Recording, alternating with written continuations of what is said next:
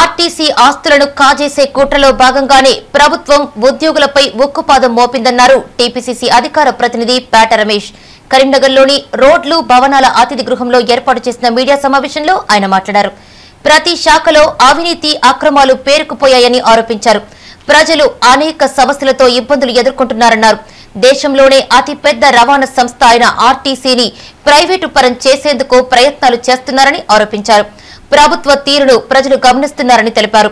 RTC సంస్థను కాపాడుకోవాల్సిన బాధ్యత ప్రజలపై ఉందని చెప్పారు. ఈ సమావేశంలో నాయకులు కార్యకర్తలు పాల్గొన్నారు. తెలంగాణ వస్తే కార్మికులకు న్యాయం జరుగుతుంది. మాకు అన్యాయం మాకు న్యాయం జరుగుతుందని ఆశపడ్డ వాళ్ళకి వాళ్ళ కుటుంబాలు రోడ్డు మీద తీసుకొచ్చే కార్యక్రమం పెట్టిండు ఎంతోమంది కార్మికులు అప్పుల బాధలో ఉన్నారు. బిడ్డలు పెళ్ళిలకు ఉన్నారు. విద్యా విధానం లోపల ఉన్నారు. చదువుకునే వాళ్ళు ఉన్నారు.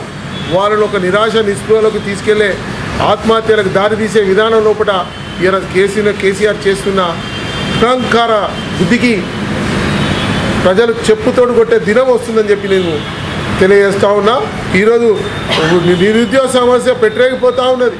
ఆరోగ్య సమస్య పెట్టరేగిపోతూ ఉన్నది. ఏ ఆసుపత్రులు చూసినా పేద ప్రజలు రోడ్ల మీదకి వచ్చే పరిస్థితి ఉన్నది. ఇటువంటి అన్నీ కూడా పట్టించుకోకుండా ఆర్టీసీ మీద దృష్టి సాధించేది దారి మళ్ళించి ఇలా ఈ యొక్క భాగమే అని చెప్పి నేను మాట్లాడుతూ ఉన్నా. ఈరోజు పూర్తి స్థాయిలో ఈ రాష్ట్రాన్ని ఏం చేయాలనుకున్నాడు అనేది ఒక కుట్ర భాగం మాకు తెలిసిపోయింది. ఈరోజు తెలంగాణలో పాలిస్తూ ఉంటే ఇంకా రాబో కాలంలో ఇంకెన్ని కార్యక్రమాలు జరుగుతాయనే దానిలో ప్రజలు కూడా గమనించాల్సిన అవసరం ఉన్నది.